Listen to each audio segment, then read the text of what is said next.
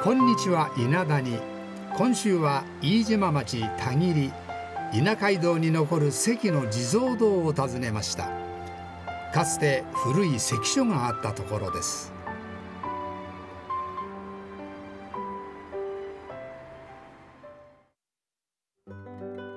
関の地蔵堂があるのは中田切川の南街道端と呼ばれる集落です。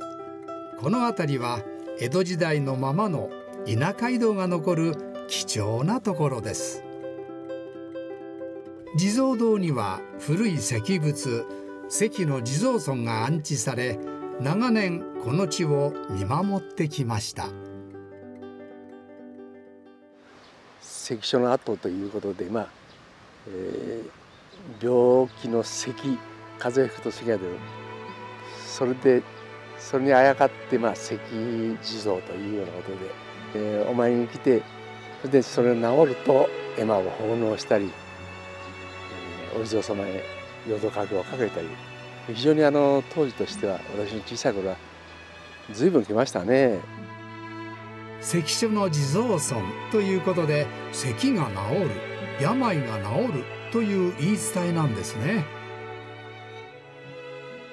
この集落の名前は街道端といってですね街道っていうのは街道筋の街道ですね。街道の旗だとの集落だということで。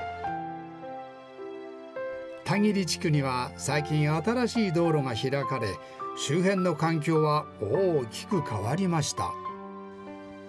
しかし堀内さんは古い佇まいや貴重な石仏が残るこの辺りをそのままの形で残していきたいと言います。あの大きな道路がまた新しくねできましたしね。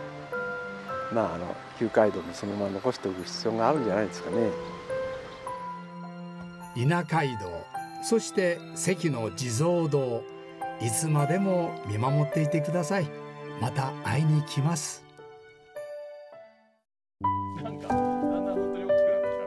ふるさとの声が聞こえていますか？